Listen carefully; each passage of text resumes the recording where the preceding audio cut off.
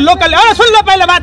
बीच में बिल्डिंग के हाँ, खबरदार आतंकवादियों से ज़्यादा खतरनाक हो। पहले एक सवाल करते हो ना सवाल का जवाब पूछो पहले। कि जब अन्ना हजारे रामलीला मैदान में बैठ सकता है तो वो किरण बेदी कहाँ है?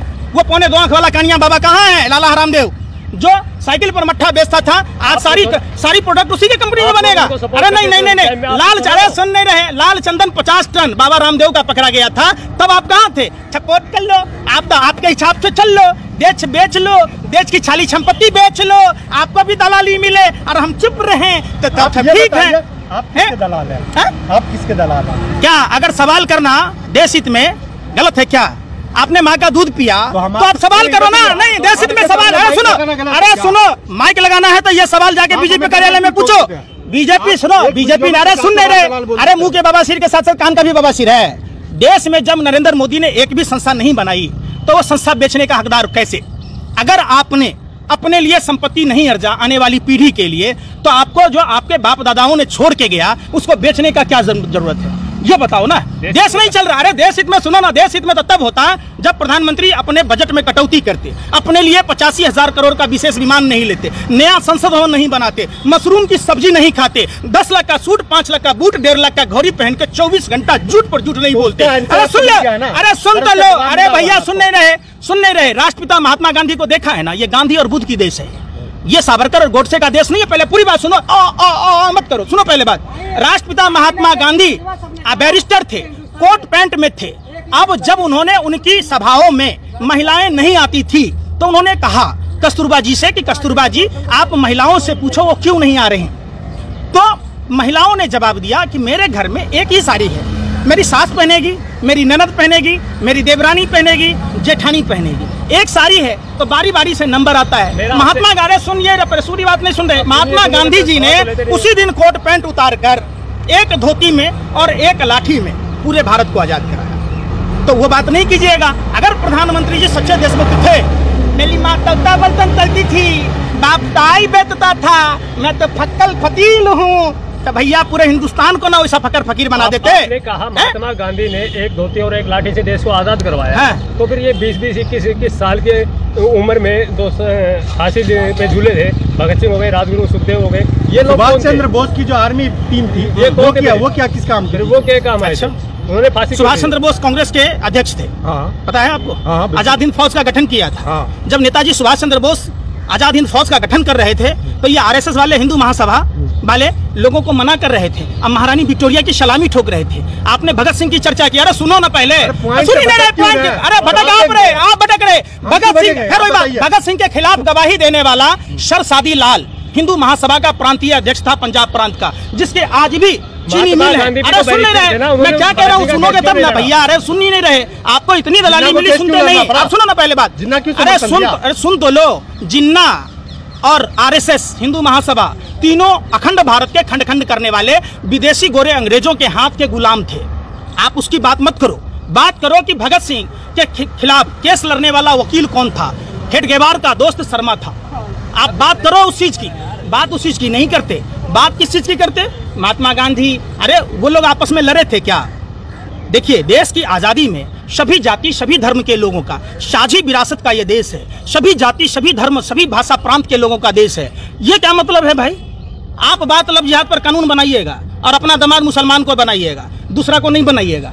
मुख्तार अब्बास नकवी को बनाइएगा शहनाबाज हुसैन को बनाइएगा फरजान करीम जैसे को बनाइएगा हम जैसे हिंदू को इन ज- आप जैसे हिंदुओं को किसी को नहीं बनाएगा। आपको सुन रहे सुन रहे फिर नहीं सुन रहे। गौ हत्या पर मॉब लिंचिंग होती है भारत में। भारत जलाया जाता है।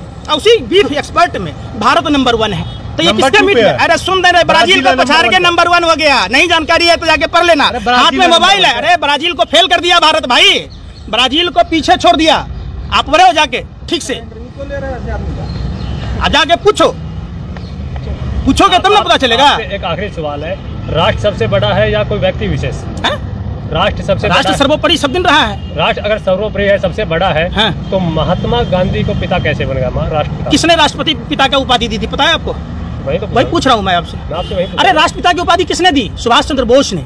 आप उस समय नहीं बोलते। जब भारतीय जनता पार्टी के नेता के द्वारा तमिलनाडु प्रदेश के प्रदेश अध्यक्ष जो एक्स सर्विस विंग के प्रदेश अध्यक्ष थे। जब Netaji Subhash Chandra Bose plus Swami Vivekananda is equal to Narendra Modi. कहाँ से भैया?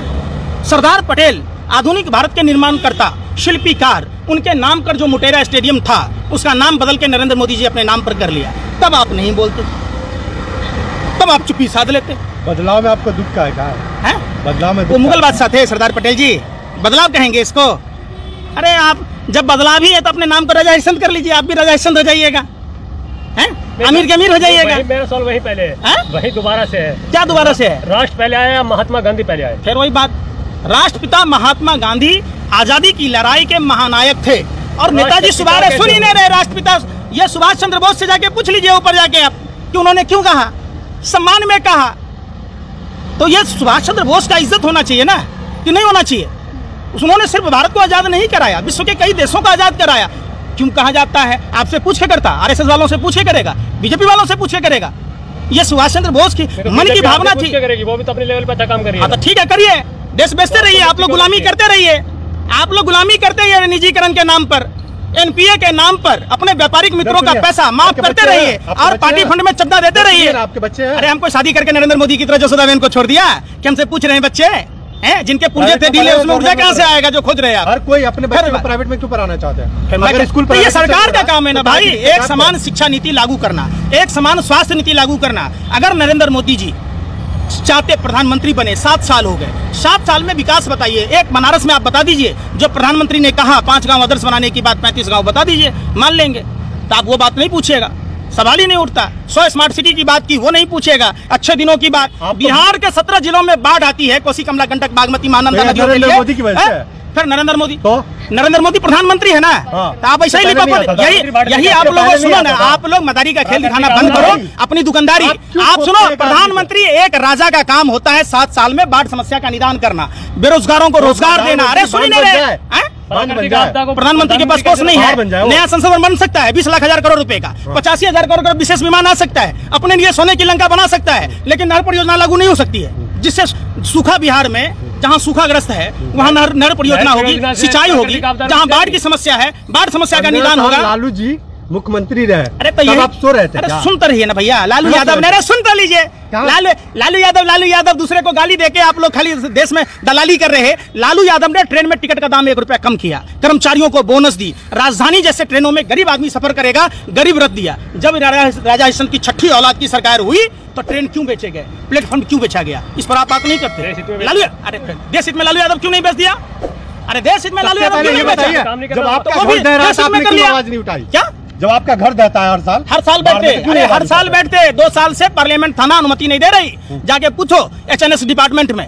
दो साल से नहीं दे रही पिछले के साल तो कोरोना घर पे जाके कभी बैठे हैं? नीतीश के घर पे लालू है भी मुख्यमंत्री में जब मुख्यमंत्री बनेगा अरे सुन ही नहीं रहे मैं आता था या नहीं आता अरे सुन तो लो यार बाढ़ तो हमारे जन्म से पहले से आ रही थी। तो जब मुझे अकल हुई मैं पाँच साल से आंदोलन चला रहा। आप पाँच साल से पता करो आपको मिलेगा। अभी अरे सुनिए ना अरे सुन नहीं रहे फिर वही बात कहूँगा तो आपको लगेगा। बिल्ली की तरह रास्ता मत काटिए। एक सवाल कीजिए जवाब पूछिए। पूरी बात सुन नहीं रहे। आपका एजेंडा फिक्स है कि बात पूरी नहीं हो। आपके चैनल के माध्यम से लोगों को पहुँचे तो नहीं। दलाल बोल फिर किसको? हमने आप तय कीजिएगा आप कैसे कह दिए कि आप किसकी दलाली करते हैं? हम किसकी दलाली करते हैं? दलाल दिखते हैं तो फिर आप खबर क्यों कैसे पूछ रहे हैं? आप अडानी बोट पर सुनिए ना प्रूफ कैसे नहीं है? अडानी के बोट पर तीस हज़ार टन हेरोइन पकड़ा गया। तो कौन पूछेगा? तो पुलवामा में बताओ? 300 किलो आरडीएक्स कहाँ से आया? ये सवाल कौन पूछेगा? ये कौन पूछेगा 50 किलो जेलेटिन कहाँ से आया? ये कौन पूछेगा? कि ध्रुव सक्सेना भारत की खुफिया जानकारी पाकिस्तान को कैसे दे रहा था? यह कौन पूछेगा? जी, प्रधानमंत्री बंगाल के चुनाव में 24 लाख बेघर लोगों को घर देने की बात की, जिस राम की बात की जाती है, जो राम पर, प्रभु श्री राम भव से सागर पार कराते हैं, उसको नदी पार कराने